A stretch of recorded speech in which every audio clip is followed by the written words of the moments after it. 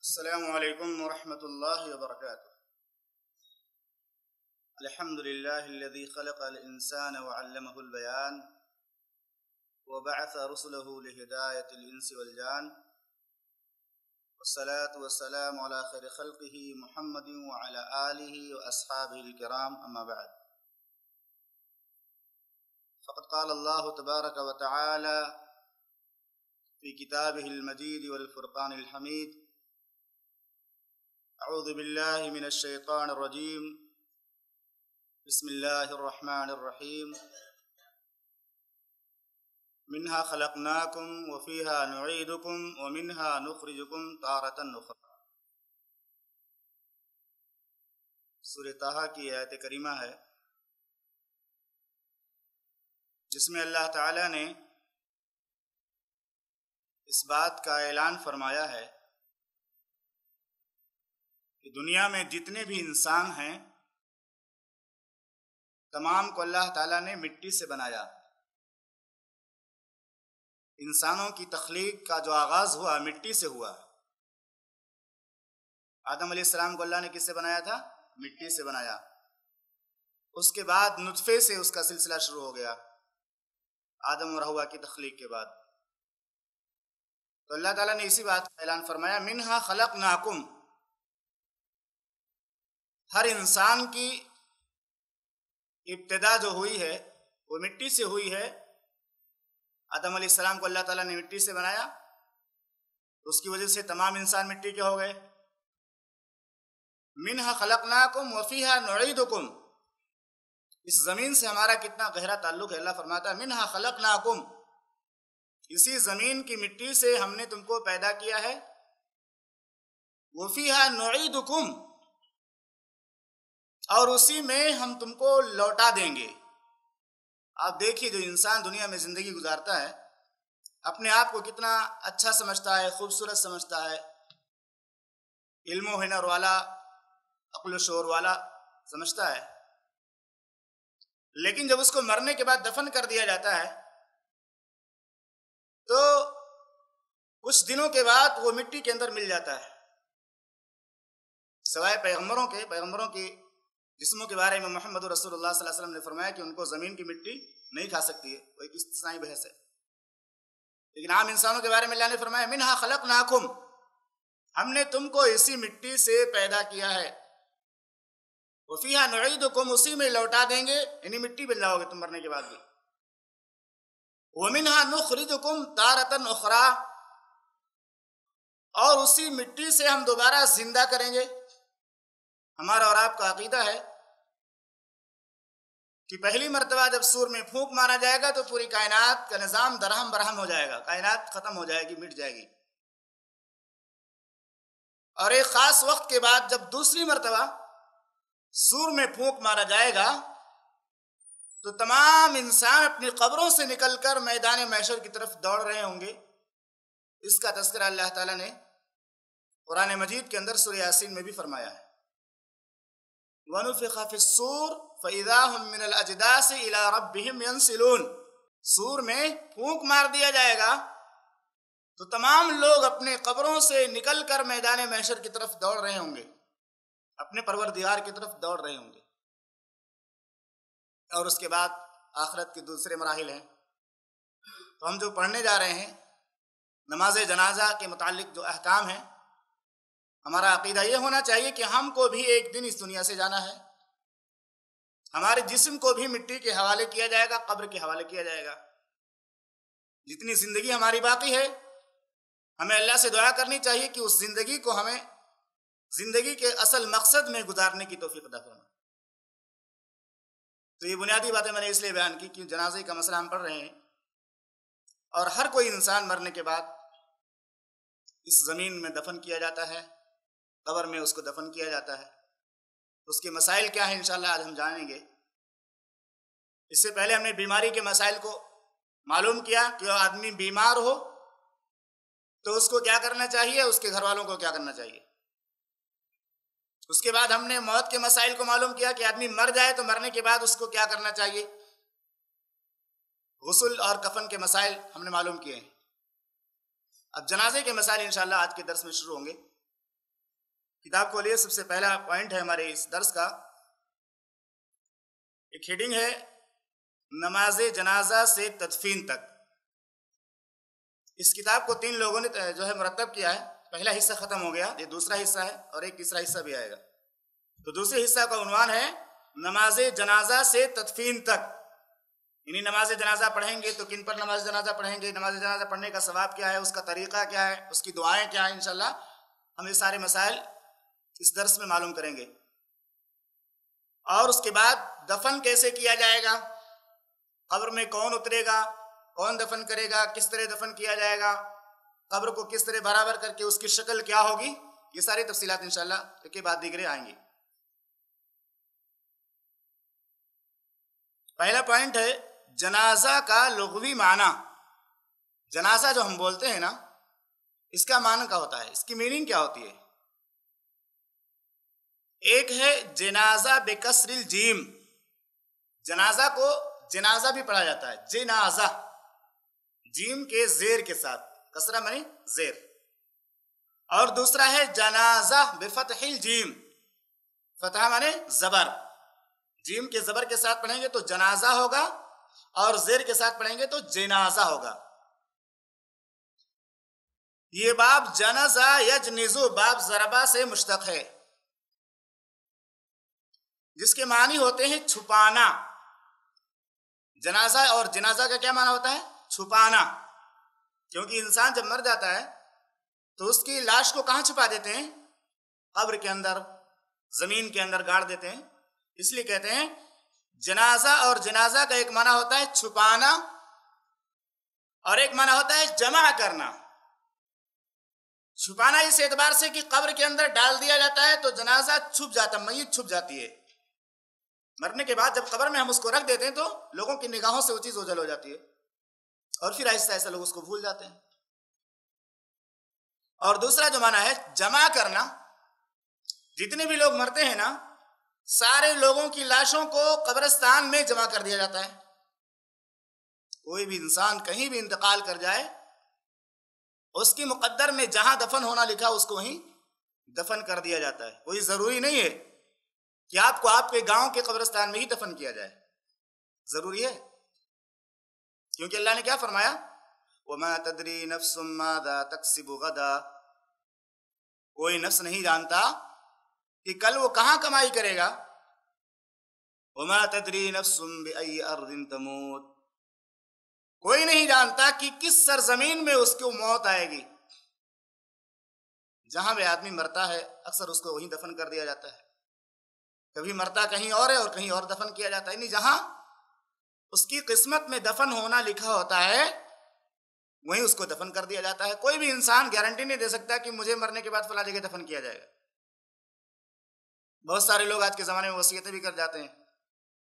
لیکن بہرحال اگر ان کی قسمت میں لکھا ہوتا ہے تو وصیت پوری ہوتی ہے، ورنہ وصیت پوری بھی نہیں ہوتی ہے۔ اللہ چاہتا ہے تو ہوتی ہے نا۔ آدمی کتنا بھی وصیت کر کے جائے۔ اسی لیے کوئی شاعر بہت اچھا ایک شعر کہتا ہے اس بارے میں۔ آ جاتی ہے وہاں موت جہاں گھر نہیں ہوتا۔ بات سمجھ میں آ رہی نا؟ آ جاتی ہے وہاں موت جہاں گھر نہیں ہوتا، بہتوں کو کفن تک بھی میسر نہیں ہوتا۔ ہوتا ہے نا؟ انسان جہاز سے گر گیا، ٹرین سے گر گیا، گاڑی سے گر گیا، لوگوں کو پتہ ہی نہیں چلا، کٹ گیا، ختم ہو گیا۔ ایک اور شعر ہے۔ اس میں شاعر کہتا ہے، گھر سے نکلو تو پتا جیب میں رکھ کے نکلو۔ اسی سے متعلق ہے۔ انسان کو مرنے کے بعد کہاں دفن کیا جائے گا کسی کو پتا نہیں ہے۔ مرنے کے بعد اس کو کوئی پہچاننے والا بھی ہوگا کہ نہیں ہوگا، کسی کو معلوم ہے؟ نہیں معلوم ہے۔ گھر سے نکلو تو پتا جیب میں رکھ کے نکلو۔ گھر سے نکلو تو پتا جیب میں رکھ کے نکلو۔ حادثے چہرے کی پہچان مٹا دیتے ہیں۔ کبھی کبھی مرنے کے بعد انسان کی شکل و صورت اس طرح بگڑ جاتی ہے نا، کوئی پہچان بھی نہیں پاتا کون ہے مرنے والا۔ تو بہرحال جنازہ کا ایک معنی ہوتا ہے جمع کرنا۔ مرنے کے بعد عام طور سے قبرستان میں لوگوں کی لاشوں کو میت کے جسم کو جمع کر دیا جاتا ہے، چھپا دیا جاتا ہے۔ یہ لغوی معنی ہو گیا جنازہ کا۔ جنازہ کا ہے ایک اصطلاحی معنی، شرعی معنی کیا ہے جنازہ کا؟ جنازہ کے اصطلاحی معنی سے متعلق دو اقوال ملتے ہیں۔ نمبر ایک، جنازہ میت کی نعش کو کہا جاتا ہے۔ پہلا معنی، جنازہ میت کی نعش، اس کو ہم لاش بولتے ہیں نا، جسم۔ جب انسان مر گیا نا، تو اس کو جنازہ کہا جاتا ہے، یہ جنازہ ہے۔ جنازہ رکھا ہوا ہے۔ بات سمجھ میں آ رہی ہے نا؟ جنازہ رکھا ہوا یعنی اس کی جسم کو کہا جاتا ہے، مرنے والے کے جسم کو جنازہ کہا جاتا ہے۔ اور دوسرا معنی یہ ہے کہ جنازہ میت کی ناش کو اس وقت کہا جاتا ہے جب لوگ اسے تابوت میں رکھ کر کے کندھے پر لاد کر کے قبرستان کی طرف لے جاتے ہیں۔ اور عام طور سے لوگ یہی مراد لیتے ہیں، جنازہ جا رہا ہے۔ بولتے ہیں، جنازہ آئے گا تو بتانا۔ تو کب اس کو جنازہ بولتے ہیں؟ جب میت کو کندھے پر لٹکا لیتے ہیں۔ جب میت کو کندھے پر رکھ کر کے اور قبرستان کی طرف چلتے ہیں۔ تب کہا جاتا ہے کہ فلاں آدمی کا جنازہ آ رہا ہے۔ یہ دوسرا معنی ہوا۔ جنازہ کا دوسرا اصطلاحی معنی، جنازہ میت کی ناش کو اس وقت کہا جاتا ہے جب اسے قبرستان لے جانے کے لیے تابوت میں رکھ دیا جائے۔ اور اگر اسے تابوت میں نہ رکھا جائے تو اسے جنازہ نہیں کہیں گے۔ عام طور سے لوگ یہی معنی مراد لیتے ہیں کہ جب جنازے کو تابوت میں رکھ کر کے لوگ اپنے کندھوں پہ اٹھا لیتے ہیں اور قبرستان کی طرف چلتے ہیں تو اس کو جنازہ کہنا شروع کر دیتے ہیں۔ فلاں کی جنازہ جا رہا ہے۔ ورنہ اس سے پہلے میت بولتے ہیں اس کو۔ چلو فلاں میت کو دیکھ لیتے ہیں۔ فلاں میت کا آخری دیدار کر لیتے ہیں۔ جنازہ کب کہیں گے؟ جب تابوت میں رکھ دیں گے، اس کو اپنے کندھوں پہ اٹھا لیں گے اور قبرستان کی طرف لے کر جائیں گے، بولیں گے جنازہ آ رہا ہے۔ تیسرا پوائنٹ ہے، نماز جنازہ کا حکم کیا ہے؟ جیسے کہ پانچ وقت کی نمازیں ہیں، ان نمازوں کا حکم ہے فرض عین۔ پنج وقتہ نمازوں کا حکم کیا ہے؟ فرض بولیے فرض عین۔ فرض عین مانے ہر شخص پر فرض ہے۔ جب پانچ وقت کی نماز ہے نا، تو کیا گھر میں صرف ابا پڑھ لیں گے تو سب کی طرف سے ہو جائے گا؟ یا گھر میں صرف بیوی پڑھ لے تو سب کی طرف سے ہو جائے گا؟ سب کو پڑھنا ہے نا۔ بیمار ہو تو بھی، تندرست ہو تو بھی، سفر میں ہو تو بھی، گھر میں ہو تو بھی، پانی ملے تو بھی، نہ ملے تو بھی، کھڑے ہو کر پڑھ سکتے تو بھی بیٹھ کر پڑھ سکتے ہو تو بھی، لیٹ کر پڑھ سکتے ہو تو بھی، آنکھ کے اشارے سے پڑھ سکتے تو بھی، لیکن معاف ہے نماز۔ جب تک انسان ہوش و حواس میں ہے، نماز معاف نہیں ہے۔ لیکن نماز جنازہ کا حکم کیا ہے؟ فرض عین نہیں بلکہ فرض کفایا فرض کفایا اور فرض عین میں کیا فرق ہوتا ہے؟ فرض عین کس کو کہتے ہیں؟ جو ہر شخص پر فرض ہو۔ ہر شخص پر، کمپلسری نہیں، تو فرض ہوتا ہے۔ فرض کے معنی ہی کمپلسری ہوتا ہے۔ لیکن ہر شخص پر کمپلسری ہوگا، اس کو فرض عین بولیں گے۔ جیسے آپ پر بھی نماز فرض ہے، فجر کی، آپ پر بھی فرض ہے، آپ پر فرض ہے، یہ فرض عین ہو گیا۔ لیکن نماز جنازہ کا معنی ہوتا ہے کہ ایسی نماز جو فرض کفایا ہے۔ فرض کفایا سنت نہیں، فرض یہ ہے، لیکن وہ کفایا ہے۔ مطلب یہ ہوتا ہے کہ جیسے ایک گھر میں دس لوگ ہیں، تو ان دسوں پر نماز، پنج وقت نماز فرض ہے نا۔ ایک گاؤں میں پچاس گھر ہیں اور اس گاؤں میں کسی میت، کوئی میت ہو گئی، اس گاؤں میں کسی کا انتقال ہو گیا، تو پچاس گھر والوں میں سے اگر دس گھر والے بھی اس کی نماز جنازہ پڑھ لیں گے، تو پچاسوں کی طرف سے وہ کافی ہو جائے گا۔ مثال سمجھ میں آ رہی ہے نا؟ ایک گاؤں میں پچاس گھر ہیں۔ پچاس گھر ہیں، اس میں سے کسی آدمی کا انتقال ہو گیا۔ اب پچاس گھروں میں اگر دس گھر والے بھی اس کی نماز جنازہ جا کر پڑھ دیں اور اس کو دفن کر دیں قبرستان میں، تو سارے لوگ گناہ سے بچ جائیں گے۔ لیکن اگر پچاس گھر والے گاؤں میں کسی کا انتقال ہو گیا اور کسی نے نماز جنازہ نہیں پڑھی، تو سارے کے سارے مجرم ہوں گے۔ بات سمجھ میں آ گیا فرض کفایا کی کہ ایسا فرض جو سب پر واجب نہیں ہے، لیکن کچھ لوگ اگر کر لیں تو دوسرے لوگ بھی اس سے گناہ سے بچ جائیں گے۔ اور فرض عین ایسا ہے کہ سب کو کرنا واجب ہے۔ فرض کفایا ایسے فرض کو کہتے ہیں جو کچھ لوگ کر لیں تو دوسروں کی طرف سے کفایت کر جائے گا۔ اور اگر کوئی بھی نہیں کرے گا تو سارے لوگ مجرم قرار پائیں گے۔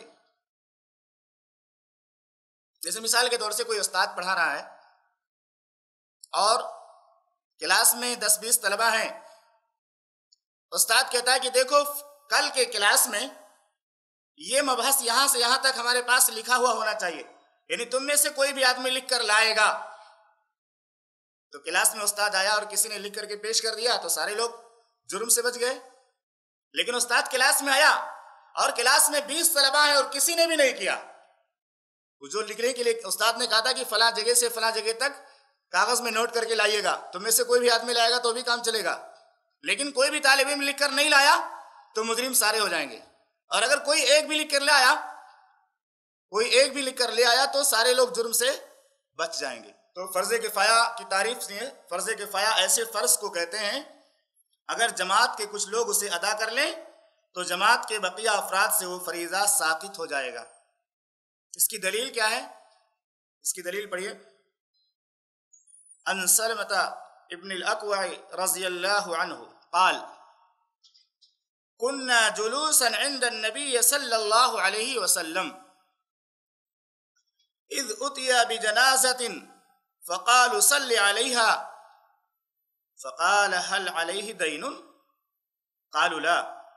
قال فهل ترك شيئا؟ قالوا لا فصل عليه. ثم اتي بجنازة أخرى. فقالوا يا رسول الله صل عليها. قال هل عليه دين؟ قيل نعم. قال فهل ترك شيئا؟ قالوا ثلاثة دنانير. فصل عليها. ثم أتي بالثالثة. فقالوا صل عليها. قال هل ترك شيئا؟ قالوا لا. قال فهل عليه دين؟ قالوا ثلاثة دنانير. قال صلوا على صاحبكم. قال أبو قتادہ صلی علیہ یا رسول اللہ وعلی دینہ فصل علیہ ایک لمبی روایت ہے جس کے راوی سلمہ ابن الاقوہ رضی اللہ تعالیٰ سلمہ ابن الاقوہ رضی اللہ تعالیٰ سے روایت و بیان کرتے ہیں کننا جلوسا عند النبی صلی اللہ علیہ وسلم ہم لوگ اللہ کے نبی صلی اللہ علیہ وسلم کے پاس بیٹھے ہوئے تھے اذ اتی بجنازت کہ ایک جنازہ لایا گیا فقال صلی علیہ تو اللہ کے نبی صلی اللہ علیہ وسلم نے کیا کہا؟ ایک جنازہ لایا گیا۔ تو صحابہ اکرام نے محمد رسول اللہ صلی اللہ علیہ وسلم نے سے کہا صلی علیہ اے اللہ کے پیغمبر محمد رسول اللہ صلی اللہ علیہ وسلم، آپ اس کی نماز جنازہ پڑھ دیجیے یا نماز جنازہ اس کی پڑھا دیجیے۔ فقال هل علیہ دین تو محمد رسول اللہ صلی اللہ علیہ وسلم نے پوچھا، جب صحابہ اکرام نے کہا کہ اس شخص کی نماز جنازہ پڑھا دیجیے، تو کس نے سوال کیا؟ محمد رسول اللہ صلی اللہ علیہ وسلم نے سوال کیا۔ کیا سوال کیا؟ حل علیہ دین؟ کیا اس پر قرض ہے؟ یعنی جو آدمی انتقال کر گیا ہے، کیا اس پر قرض ہے؟ قالوا لا۔ تو لوگوں نے کہا کہ نہیں۔ قال فہل طرح کا پھر آپ نے دوسرا سوال کیا۔ پہلا سوال یہ کیا کہ کیا اس کے اوپر قرض ہے؟ اور دوسرا سوال یہ کیا کیا کچھ چھوڑ کر مرا ہے؟ یعنی اپنے مرنے کے وقت زمین جائیداد چھوڑا ہے دنیا میں؟ تو لوگوں نے کہا نہیں۔ فصل علیہ، تو اللہ کے نبی صلی اللہ علیہ وسلم نے اس شخص کی نماز جنازہ پڑھائی، جس پر قرض بھی نہیں تھا اور کچھ چھوڑ کر بھی نہیں گیا تھا۔ ثم اوتی بجنازت اخرى پھر دوسرا جنازہ لایا گیا۔ جب دوسرا جنازہ لایا گیا، تو پھر صحابہ اکرام نے اللہ کے نبی صلی اللہ علیہ وسلم سے یہی سوال کیا کہ اللہ کے پیغمبر، آپ اس پر نماز جنازہ پڑھ دیجیے یا اس کی نماز جنازہ پڑھا دیجیے؟ قال هل علیہ دین؟ تو پھر اللہ کے نبی صلی اللہ علیہ وسلم نے سوال کیا کیا اس پر کچھ قرض وغیرہ ہے؟ قرض وغیرہ لے کر مرا ہے جس نے جو ادا نہ کیا ہو۔ قیل انام، کہا کہ ہاں۔ قال فہل تارک شیئن کیا کچھ چھوڑ کر کے دنیا سے گیا ہے؟ قالو۔ تو لوگوں نے کہا ہاں۔ طرح کا سلاست دناریر۔ یہ تین دینار چھوڑ کر گیا ہے۔ تو اللہ کے نبی صلی اللہ علیہ وسلم نے اس اس پر نماز جنازہ پڑھی۔ پھر تیسرا جنازہ لایا گیا۔ اس کے بارے میں بھی صحابہ کرام نے محمد رسول اللہ صلی اللہ علیہ وسلم سے درخواست کی کہ اللہ کے پیغمبر آپ اس پر نماز جنازہ پڑھ دیجیے۔ آپ نے پھر وہی سوال کیا حل طرح کا شیان کیا کچھ چھوڑ کر کے گیا ہے؟ قال اولا کہا کہ نہیں۔ پھر آپ نے سوال کیا کیا اس پر کچھ قرض وغیرہ ہے؟ تو لوگوں نے کہا ہاں اس پر تین دینار کا قرض ہے۔ کتنے دینار کا؟ سلاست دنانیر تین دینار کا۔ قال صلو علی صاحبکم تو اللہ کے نبی صلی اللہ علیہ وسلم نے جب یہ بات سنی کہ اس پر تین دینار قرض ہے اور آپ کے پاس اسات نہیں تھی کہ آپ اس کا جو ہے قرض ادا کر سکیں، تو آپ نے کہا کہ تم لوگ اپنے ساتھی پر نماز جنازہ پڑھ لو۔ اس سے پتہ چلتا ہے کہ اللہ کے نبی صلی اللہ علیہ وسلم نے ایسے شخص کی نماز جنازہ پڑھنے کو پسند نہیں فرمایا۔ جو قرض کھا کر کے دنیا سے چلا گیا اور اس نے ادا نہ کیا ہو۔ ابو قطادہ رضی اللہ تعالیٰ عنہ بڑے خیر خواہ تھے۔ اس صحابی سے متعلق جن کا انتقال ہوا تھا، ابو قطادہ رضی اللہ تعالیٰ عنہ نے کہا کہ اللہ کے پیغمبر محمد رسول اللہ صلی اللہ علیہ وسلم، صلی علیہ، آپ نماز جنازہ پڑھا دیجیے۔ اس شخص کی نماز جنازہ آپ پڑھا دیجیے، میں اس کا قرض ادا کر دوں گا۔ وَعَلَيَّ دَيْنُهُ اس کے قرض کی ادائیگی کی ذمہ میرے اوپر ہے۔ فصل علیہ تو اللہ کے نبی صلی اللہ علیہ وسلم نے اس پر نماز جنازہ پڑھائی۔ تو اس سے پتہ چلتا ہے کہ نماز جنازہ یہ فرض کفایہ ہے۔ مطلب یہ ہوا کہ کوئی بھی آدمی مسلمان آدمی کے انتقال کر جائے تو کچھ لوگ اگر نماز جنازہ پڑھ لیں گے تو دوسرے دوسرے لوگوں کی طرف سے کفایت کر جائے گا۔ اور اگر کوئی بھی نہیں پڑھے گا تو سارے لوگوں کا مواخذہ ہوگا۔ اگلا پوائنٹ ہے۔ وہ کون سے لوگ ہیں جن پر نماز جنازہ پڑھنا مستحب ہے، واجب نہیں؟ دیکھیے، عام مسلمانوں کے بارے میں یہ حکم ہے کہ کچھ لوگ اگر نماز جنازہ اگر پڑھ لیں تو دوسروں کی طرف سے کفایت کر جائے گا۔ لیکن کچھ میت ایسی ہیں کہ ان پر نماز جنازہ پڑھنا واجب نہیں ہے، بلکہ مستحب ہے۔ اگر پڑھ لیں تو اچھی بات ہے، اور اگر نہ پڑھیں گے تو واجب نہیں ہے۔ سب سے پہلا مسئلہ ہے ان لوگوں میں کہ جن کی نماز جنازہ پڑھنا مستحب واجب نہیں، نابالغ بچوں کی وفات پر نماز جنازہ پڑھنا واجب نہیں ہے۔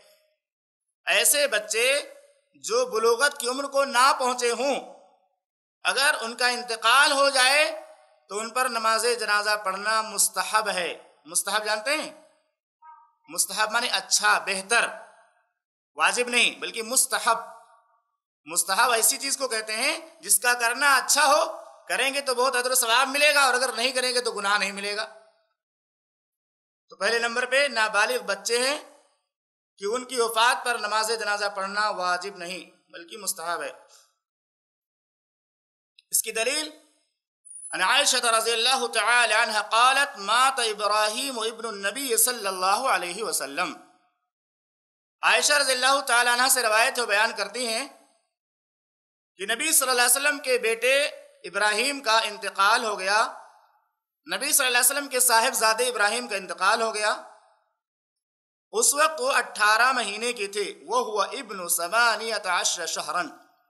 کتنے مہینے کے تھے وہ؟ اٹھارہ مہینے کے تھے۔ فلم یوسل علیہ رسول اللہ صلی اللہ علیہ وسلم۔ تو رسول اللہ صلی اللہ علیہ وسلم نے ان کی نماز جنازہ نہیں پڑھی۔ اس سے پتہ چلتا ہے کہ اگر چھوٹے بچے انتقال کر جائیں اور نماز جنازہ اس پر نہ پڑھی جائے تو گناہ نہیں پڑے گا کیونکہ ان پر نماز جنازہ پڑھنا فرض اور واجب نہیں ہے۔ اس میں ایک سوال ہے کہ ابراہیم جو نبی صلی اللہ علیہ وسلم کے صاحب زادے تھے ان کی امی کا نام کیا ہے؟ ہاں ماریا قبطیہ۔ کیا نام ہے؟ ہاں۔ اس کے علاوہ دوسرے جتنے بھی بچے تھے نبی صلی اللہ علیہ وسلم کے، وہ خدیجہ رضی اللہ تعالیٰ عنہ کے یہاں پیدا ہوئے تھے۔ سمجھ رہے نا یہ؟ ابراہیم کہاں پیدا ہوئے؟ ماریا قبطیہ رضی اللہ تعالیٰ عنہ کے ابراہیم، ماریا قبطیہ رضی اللہ تعالیٰ عنہ کے پیدا ہوئے تھے۔ اسی طرح سے کچھ بچے ایسے ہوتے ہیں جو پیدا ہوتے ہیں تو فوت شدہ ہوتے ہیں۔ یعنی پیٹ کے ہی اندر بچوں کا انتقال ہو جاتا ہے۔ ایسا ہوتا ہے نا کبھی کبھی۔ ماں کے پیٹ کے اندر ہی بچہ یعنی صحیح سالم ہے، سب کچھ تندرست ہے، اس کے ہاتھ، کان، آنکھ، ناک سب بن چکے ہیں۔ اور وہ ماں کے پیٹ کے اندر فوت ہو گیا۔ اب اس کے بارے میں کیا مسئلہ ہے؟ آگے اسی مسئلے کو بیان کیا ہے۔ پیدائشی مردہ بچہ پر نماز جنازہ کا حکم۔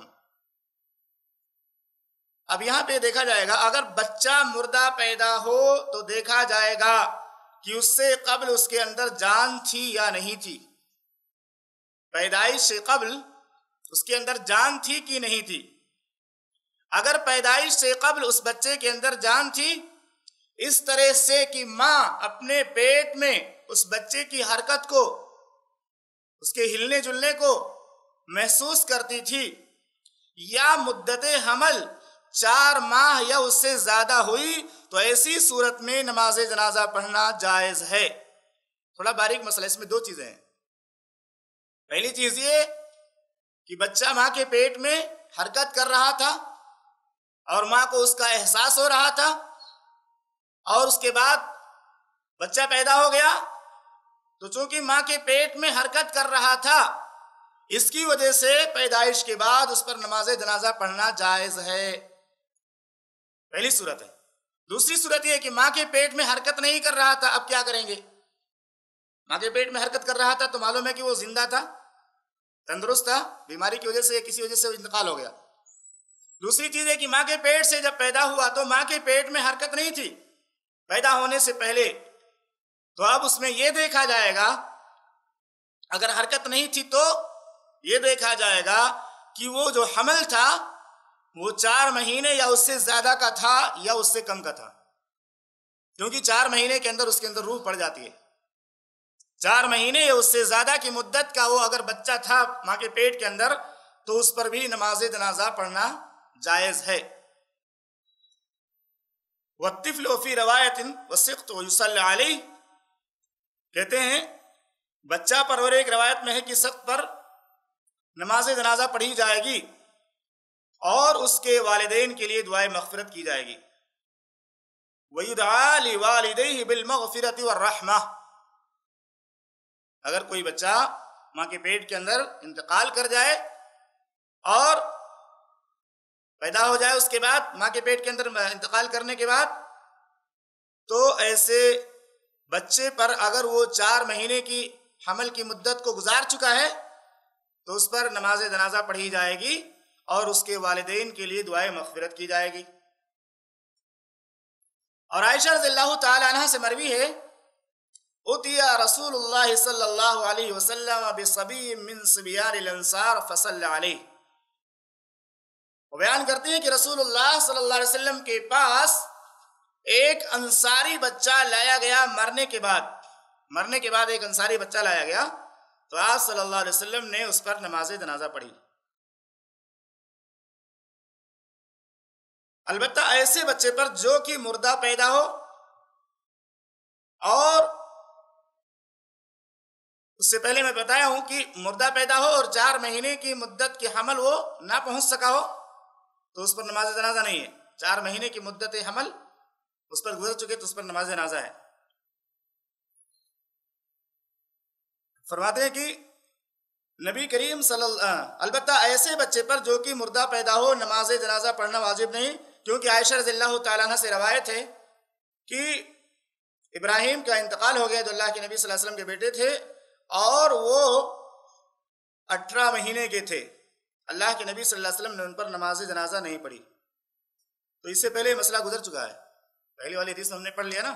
جو بچہ اٹھارہ مہینے کا تھا، بلوغت کو نہیں پہنچا تھا۔ پہلا مسئلہ ہم نے یہ پڑھا کہ بالغ ہونے سے پہلے اگر انتقال کر جائے تو اس پر نماز جنازہ پڑھنا واجب نہیں، پڑھ سکتے ہیں لیکن واجب نہیں ہے۔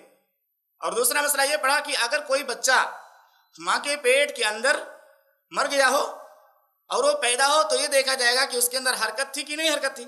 اگر حرکت تھی تو اس پر نماز جنازہ پڑھنا جائے، پڑھنی جائز ہے۔ اور اگر حرکت نہیں تھی تو مدت حمل دیکھی جائے گی۔ چار مہینے کی مدت حمل اس پر گزر چکی ہے تو اس پر نماز جنازہ پڑھی جائے گی۔ اور اگر چار مہینے سے پہلے ہو گر گیا ہے تو اس پر نماز جنازہ نہیں پڑھی جائے گی۔ تو یہ حدیث سے پہلے گزر چکی ہے۔ عائشہ رضی اللہ تعالیٰ کی روایت اس سے پہلے گزر چکی ہے تو جب اٹھارہ مہینے کے بچے کی نماز جنازہ واجب نہیں ہے تو جو بچہ مردہ پیدا ہو اس کی جنازے کی نماز واجب بدر جولا نہیں ہوگی یہ مسئلہ واضح طور سے سمجھ میں آ گیا نا ایک مسئلہ ہے کہ نابالغ بچہ اگر فوت ہو جائے تو اس پر نماز جنازہ پڑھنا واجب نہیں ہے اسی طرح سے ایسا بچہ جو ماں کے پیٹ سے پیدا ہو اور اس کی وفات ہو گئی ہو، تو اس پر بھی نماز جنازہ پڑھنا واجب نہیں ہے۔ جائز ہے۔ کس صورت میں جائز ہے؟ اس صورت میں جائز ہے کہ اس کے اندر حرکت تھی۔ سمجھ رہے نا؟ اور اس صورت میں جائز ہے کہ وہ چار مہینے کی مدت عمل گزار کر پیدا ہوا ہے۔ مسئلہ سمجھ میں آ رہا نا؟ اس میں گڑبڑ نہیں ہونا چاہیے۔ یہاں پہ یہ ہے مسئلہ کہ وہ کون لوگ ہیں جن کے اوپر نماز جنازہ پڑھنا مستحب واجب نہیں ہے۔ نابالغ پر واجب نہیں ہے، مستحب ہے۔ جو بچہ ماں کے پیٹ سے پیدا ہو، اس کے اندر حرکت تھی، اس پر بھی مستحب واجب نہیں ہے۔ یا اسی طرح سے چار مہینے کی مدت عمل جس نے گزارا ہو اور وہ پیدا ہو، تو اس پر بھی مستحب واجب نہیں ہے۔ لیکن اگر چار مہینے کی مدت عمل نہیں گزری ہے، تو اس پر جائز بھی نہیں ہے۔ اس پر نماز نازا ہی نہیں۔ بات سمجھ میں آگے نا؟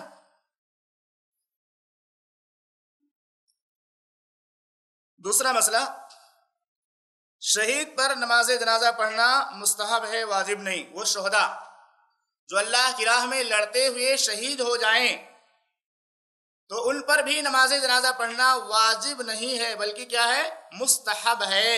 اور مستحب کا معنی میں نے بتا دیا کہ جس کے کرنے پر ثواب ہو، نہ کرنے پر گناہ نہ ہو۔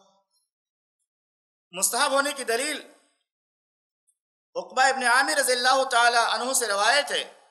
ان النبی صلی اللہ علیہ وسلم خرج یوما فصل على اہل احد صلاته على المیت اقبا ابن عامر رضی اللہ تعالی عنہ سے روایت ہے وہ بیان کرتے ہیں کہ نبی کریم صلی اللہ علیہ وسلم ایک دن باہر تشریف لائے اور احد کے شہیدوں پر اس طرح نماز پڑھی جیسے میت پر پڑھی جاتی ہے۔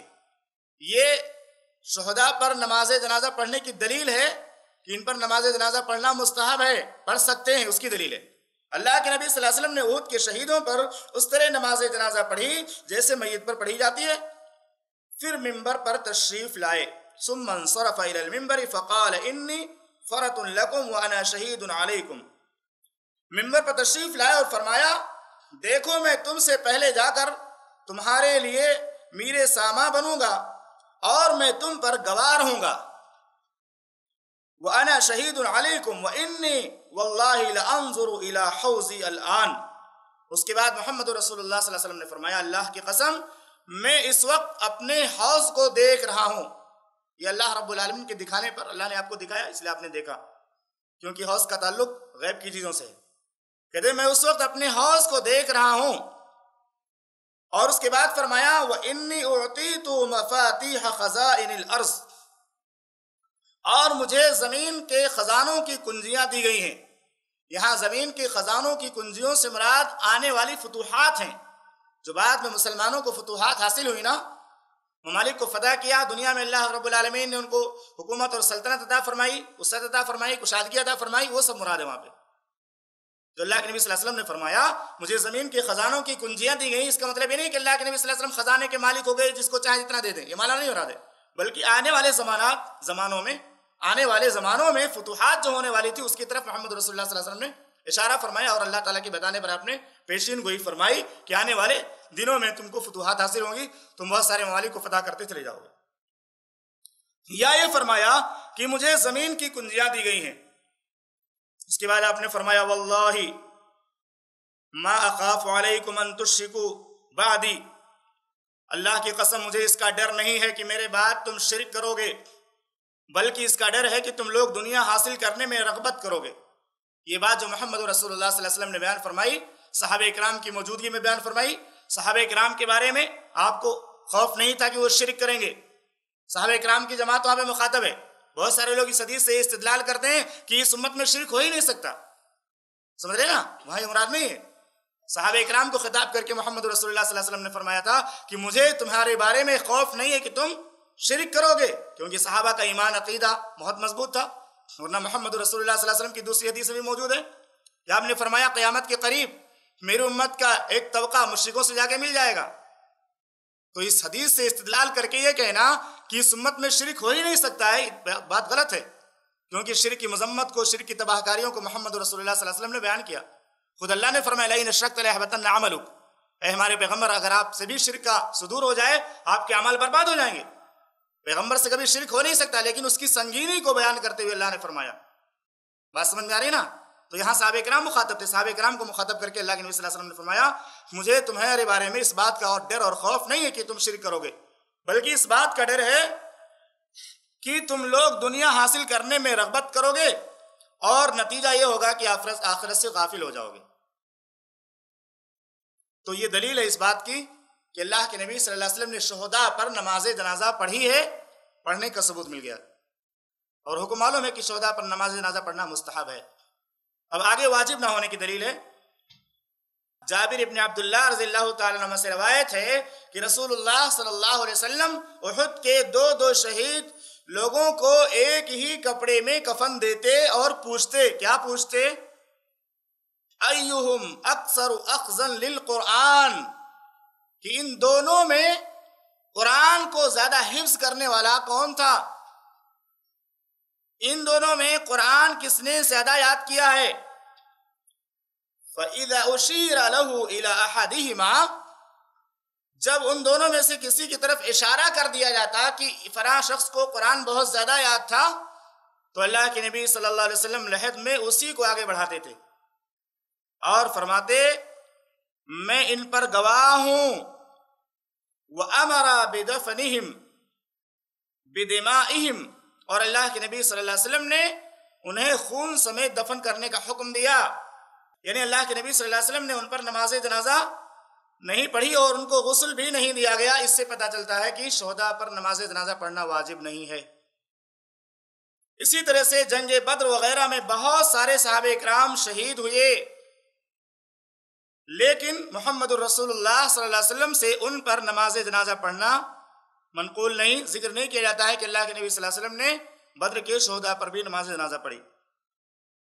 اگر آپ صلی اللہ علیہ وسلم نے ان پر نماز جنازہ پڑھی ہوتی تو صحابہ اکرام یہ عمل محمد رسول اللہ صلی اللہ علیہ وسلم سے ضرور نقل فرماتے کہ جنگ بدر کے اندر جو لوگ شہید کیے گئے تھے، محمد رسول اللہ صلی اللہ علیہ وسلم نے ان پر نماز جنازہ پڑھی، اس کا ذکر ملتا۔ اس سے ثابت ہوا کہ شہداء پر نماز جنازہ پڑھنا واجب نہیں ہے۔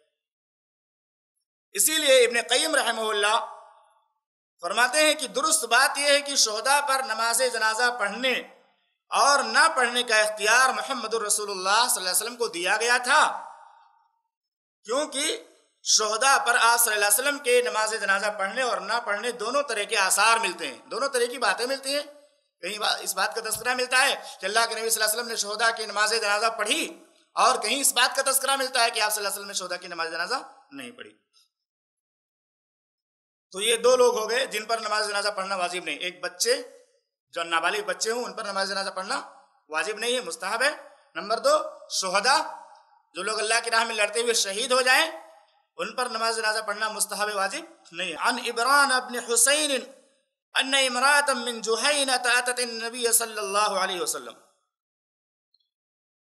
عن عمران بن حسين أن امرأة من جهينة أتت نبي الله صلى الله عليه وسلم وهي حبلى من الزنا. فقالت يا نبي الله أصبت حدا فأقمه عليّ. فدعا نبي الله صلى الله عليه وسلم وليها فقال أحسن إليها فإذا وضعت فأتني بها ففعل فأمر بها نبي الله صلى الله عليه وسلم فشكت عليها ثيابها ثم أمر بها فرجمت ثم صلى عليها فقال له عمر تصلي عليها يا نبي الله وقد زنت؟ فقال لقد تابت توبة لو قسمت بين سبعين من أهل المدينة لوسعتهم. وهل وجدت وهل وجدت توبة؟ وهل وجدت توبة أفضل من أن جادت بنفسها لله تعالى؟ وهل وجدت توبة أفضل من أن جادت بنفسها لله تعالى؟ یہ صحیح مسلم کی ایک ہزار چھ سو چھیانوے نمبر کی روایت ہے۔ اس سے پتہ چلتا ہے کہ محمد رسول اللہ صلی اللہ علیہ وسلم کے زمانے میں صحابیات اللہ نبی صلی اللہ علیہ وسلم کے زمانے میں صحابیات اللہ سے کس قدر ڈرنے والی تھی؟ اس سے پتہ چلتا ہے نا۔ ابھی ترجمہ پڑھیں گے تو بات واضح ہو جائے گی۔ آئیے ترجمہ دیکھتے ہیں۔ عمران ابن حسین رضی اللہ تعالی عنہ سے روایت ہے بیان کرتے ہیں کہ ایک عورت قبیل جوہینا کی رسول اللہ صلی اللہ علیہ وسلم کے پاس آئی اور وہ حاملہ تھی۔ شادی نہیں ہوئی تھی اور حاملہ تھی نہیں، زنا کی وجہ سے۔ اس نے کہا کہ اللہ کے نبی صلی اللہ علیہ وسلم، میں نے حد کا کام کیا ہے، مجھ کو حد لگا دیجیے، یہ ہے ایمان کا تقاضا۔ گناہ ہو گیا شرمندگی ہے، پشیمانی ہے، ڈر ہے کہ اگر دنیا میں سزا نہیں ملی تو مرنے کے بعد کی سزا بہت بھاری ہوگی۔ جہنم کی آگ کو ہم نہیں جھیل پائیں گے۔ تو اس عورت نے جا کر کے محمد رسول اللہ صلی اللہ علیہ وسلم سے کہا کہ اللہ کے پیغمبر، میں نے حد کا کام کیا ہے۔ جبکہ اللہ کے نبی صلی اللہ علیہ وسلم کو پتا نہیں تھا کس نے کیا کیا ہے۔ خود جا کر کے پیش کر دیا کہ اللہ کے پیغمبر، میرے پر حد نافذ کیجیے۔ میں نے حد کو کام کیا ہے، حد کا کام کیا ہے یعنی مجھ سے زناکاری کا ارتکاب ہو گیا ہے اور یہ جو حمل ہے اس کی وجہ سے ہوا ہے۔ اللہ رسول اللہ صلی اللہ علیہ وسلم نے اس کے ولی کو بلایا اور فرمایا، اس کو اچھی طرح رکھو۔ جب تک حمل ہے اس کے پیٹ کے اندر، ہم اس کو رجم نہیں کر سکتے۔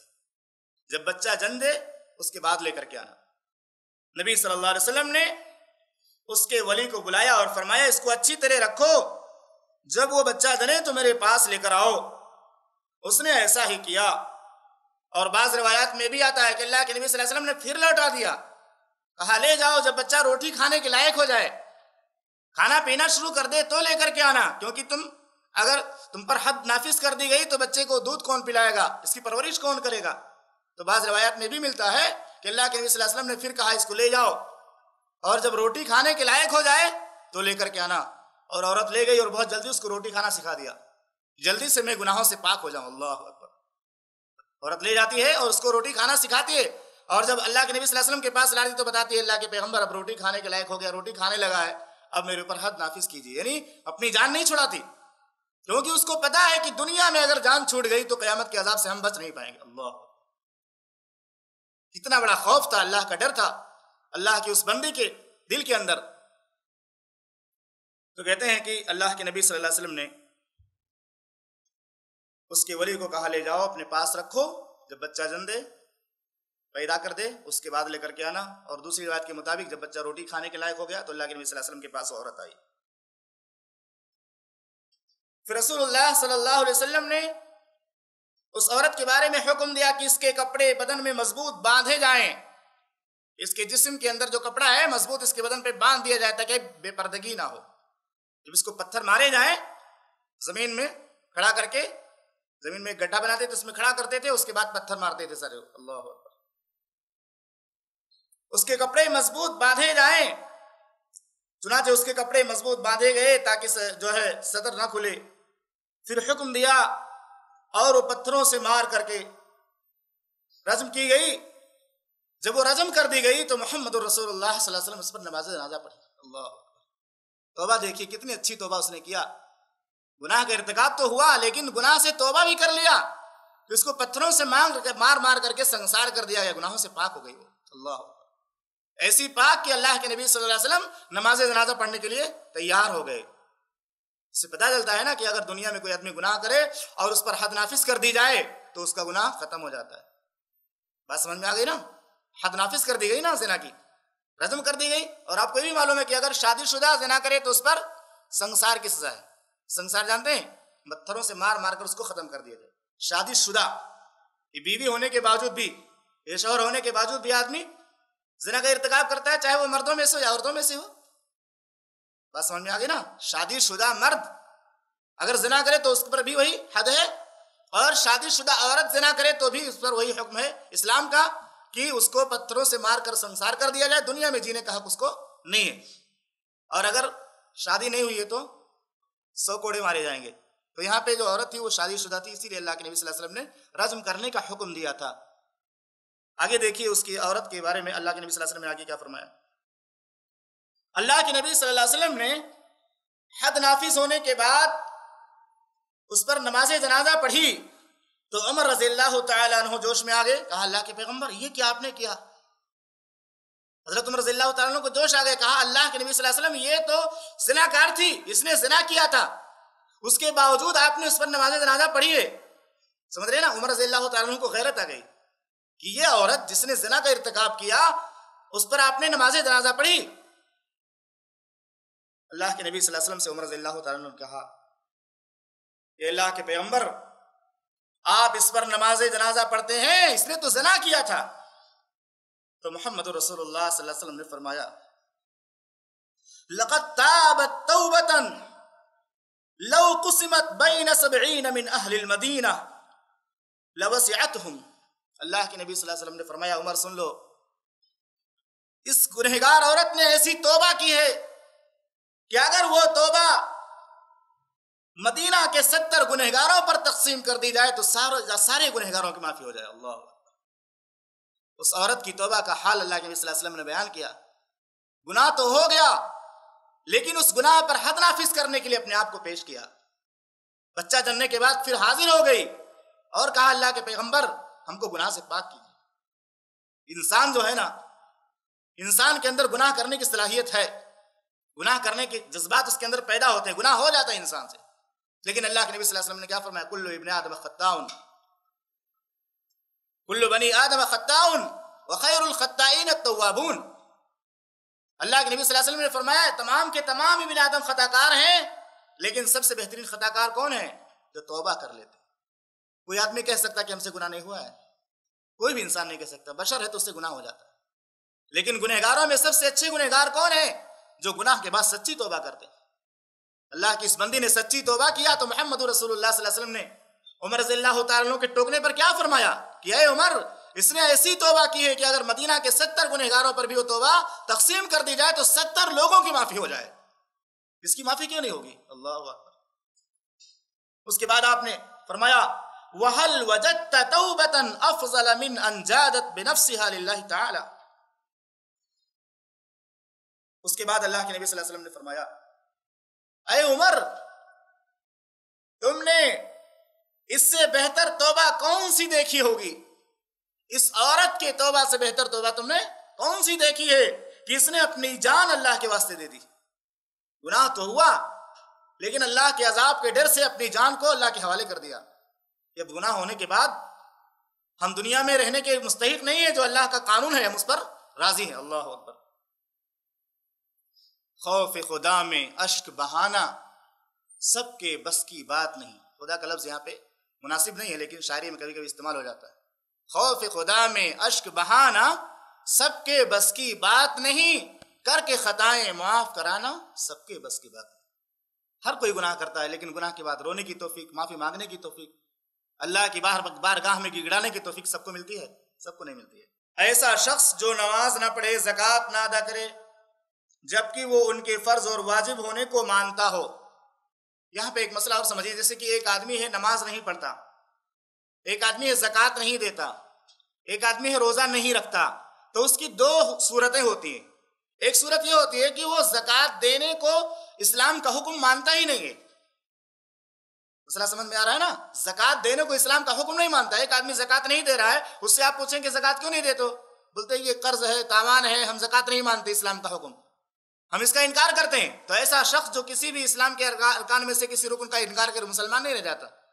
اور حضرت ابوبکر صدیق رضی اللہ تعالیٰ نے ایسے لوگوں کے بارے میں کہا تھا، میں ان سے قتال کروں گا کہ نماز تو پڑھتے ہیں، لیکن زکوٰۃ کا انہوں نے انکار کیا ہے۔ ایسے ہی نماز کا مسئلہ ہے۔ ایک آدمی ہے جو نماز چھوڑتا ہے، نماز نہیں پڑھتا۔ اس سے کہا جاتا ہے کہ نماز کیوں نہیں پڑھتے؟ وہ بولتا ہے، سستی اور کاہلی کی وجہ سے نہیں پڑھتا ہوں، نماز کو فرض مانتا ہوں۔ نماز چھوڑنے کو گناہ بھی مانتا ہوں، لیکن میرے اپنے نفس کا معاملہ ہے، میری اپنی کمزوری کا معاملہ ہے، سستی کا معاملہ ہے۔ اس کی وجہ سے میں نماز نہیں پڑھتا ہوں، لیکن نماز چھوڑنے کو میں گناہ جانتا ہوں۔ نماز کو اسلام کا فریضہ مانتا ہوں۔ تو وہ شخص مسلمان ہی کہلائے گا، لیکن فاسق کہلائے گا۔ اور دوسرا شخص جو یہ کہتا ہے، میں نماز پڑھتا نہیں کیونکہ نماز کو اسلام کا حکم ہی نہیں مانتا۔ دونوں میں فرق ہے نا؟ ایک آدمی نہیں پڑھ رہا ہے، لیکن وہ حکم مانتا ہے۔ اس کو گناہ سمجھ رہا ہے؟ نماز چھوڑنے کو گناہ سمجھ رہا ہے تو اس کو کافر نہیں بولیں گے۔ لیکن ایک ایسا شخص ہے جو نماز نہیں پڑھتا اور اس کے پاس جو ہے اس کی کوئی دلیل بھی نہیں ہے۔ اور وہ سیدھے بولتا ہے کہ ہم نماز اس لیے نہیں پڑھتے ہیں کہ ہم نماز کو اسلام کا حکم ہی نہیں مانتے۔ تو دونوں میں فرق ہے نا؟ اسی کو بتایا جا رہا ہے اس میں۔ کہ ایسا شخص جو نماز نہ پڑھے، زکوٰۃ نہ ادا کرے، جبکہ ان کے فرض اور واجب ہونے کو مانتا ہو۔ اگر ماننے کے باوجود نہیں کرتا ہے تو اس کو فاسق مسلمان کہیں گے۔ لیکن اگر نہ مان کر کے اس کا انکار کر رہا ہے کہ اس کو فرض ہی نہیں مانتا اور اس کو چھوڑ رہا ہے بولا ہمیں فرض ہی نہیں مانتا، اسلام کا حکم نہیں مانتا میں اس کو، تو وہ مسلمان نہیں رہے گا کیونکہ اسلام کے ارکان میں سے اسی طرح سے اس طرح کے گنہگاروں اور فرائض کے ترک کرنے والوں پر عبرت و نصیحت کے لیے اہل علم اور اہل ایمان ان پر نماز جنازہ نہیں پڑھیں گے۔ اگر اس طرح کے گنہگار مر جائیں، بہت زیادہ بڑے گناہوں کا ارتکاب کرنے والے ہوں۔ تو جو بڑے بڑے اہل علم ہیں، علماء ہیں، جو دین کے اندر اچھا درک رکھتے ہیں، عمل میں اور علم میں بہت اچھے ہیں، وہ لوگ ان کی نماز جنازہ نہیں پڑھیں گے تاکہ عبرت لوگوں کو حاصل ہو۔ نصیحت حاصل ہو کہ اگر ہم بھی اس طرح برا عمل کریں گے، تو ہماری بھی نماز جنازہ میں لوگ شریک نہیں ہوں گے۔ تو وہی کہتے ہیں، البتہ اس طرح کے گنہگاروں اور فرائض کو ترک کرنے والوں پر عبرت و نصیحت کے لیے اہل علم اور اہل ایمان ان پر نماز جنازہ نہیں پڑھیں گے، بلکہ صرف عام مسلمان ان پر نماز جنازہ ادا کریں گے۔ نبی اکرم صلی اللہ علیہ وسلم کا یہی طریقہ تھا۔ اس کی دلیل صحیح مسلم کی حدیث نمبر نو سو اٹھہتر ہے۔ جابر رضی اللہ تعالیٰ سے روایت ہے بیان کرتے ہیں۔ جابر بن سمرہ رضی اللہ تعالیٰ سے روایت و بیان کرتے ہیں، اوتی النبی صلی اللہ علیہ وسلم برجل نبی صلی اللہ علیہ وسلم کے پاس ایک شخص کو لایا گیا، جس نے اپنے آپ کو ایک چوڑے تیر سے مار ڈالا تھا۔ تو آپ صلی اللہ علیہ وسلم نے اس پر نماز جنازہ نہیں پڑھی، چوڑے تیر سے مار ڈالا تھا، اپنے اوپر حملہ کر لیا تھا۔ یہ بھی بہت بڑا گناہ ہے، اپنے آپ کو مار ڈالنا۔ اس کو کون سا گناہ بولتے ہیں؟ خودکشی کا گناہ۔ اپنے آپ کو مار ڈالنا یعنی اپنے آپ پر خود خود حملہ کر کے اپنے آپ کو مار ڈالنا۔ خودکشی کی کئی شکلیں ہوتی ہیں، کوئی بلڈنگ سے کود جائے شہروں میں تو یہ طریقہ زیادہ لوگ اپناتے ہیں، اوپر سے کود گئے، ختم ہو گئے، ہے نا؟ یا گلے میں پھندا ڈال کے مر گیا، زہر پی لیا، یا اسی طرح سے اپنے اوپر خنجر سے حملہ کر لیا، خنجر وغیرہ کا معاملہ آج کل کم ہوتا ہے کیونکہ آپ لوگوں کو ہمت نہیں اتنی زیادہ۔ پہلے لوگ لڑتے تھے اور جنگ کرتے تھے تو ان کے اندر ہمت تھی۔ تو اب زیادہ تر زہر وغیرہ پی کر کے لوگ اپنے آپ کو مار ڈالتے ہیں۔ یا پٹری پہ جا کے لیٹ گیا، یا سمندر میں کود گیا جان بوجھ کر کے کہ ہم ڈوب کر مر جائیں گے۔ تو یہ خودکشی کرنا بھی بڑا گناہ ہے۔ تو ایسی خودکشی کرنے والے پر بھی اللہ کے نبی صلی اللہ علیہ وسلم نے نماز جنازہ نہیں پڑھی تاکہ لوگوں کو عبرت حاصل ہو۔ بات سمجھ میں آ رہی ہے نا؟ خودکشی کرنا یعنی اپنے آپ کو مار ڈالنا۔ اور اللہ کے نبی صلی اللہ علیہ وسلم نے فرمایا کہ اللہ تعالیٰ ایسے شخص پر جنت کو حرام کر دیتا ہے یعنی اگر وہ مسلمان ہے، کلمہ گو ہے، توحید ماننے والا ہے، تو اس پر جنت حرام ہے یعنی ایک لمبے زمانے تک وہ جہنم کے اندر جلے گا۔ اور اگر کلمہ نہیں مانتا، اسلام نہیں مانتا، تو ہمیشہ کے لیے۔ بس اللہ تعالیٰ سے دعا ہے کہ رب العالمین ہمیں صحیح معنوں میں میت اور جنازے اور کفن دفن کے مسائل کو سمجھنے اور اس کے مطابق عمل کرنے کی توفیق عطا فرما۔ انشاءاللہ اگلے درس میں اگلی باتیں بیان کی جائیں گی۔ تب یہیں پہ ہم اپنے درس کو ختم کرتے ہیں اور اللہ سے دعا کرتے ہیں کہ رب العالمین جو باتیں بھی صحیح معنوں میں پیش کی گئی ہیں، ہمیں ان کو سمجھنے اور ان پر عمل کرنے کی توفیق عطا فرما۔ دوران درس اگر کچھ غلطی ہوئی ہے تو اللہ تعالیٰ تو اسے معاف فرما دے۔ آمین۔ و صلی اللہ علیہ نبی کریم السلام علیکم۔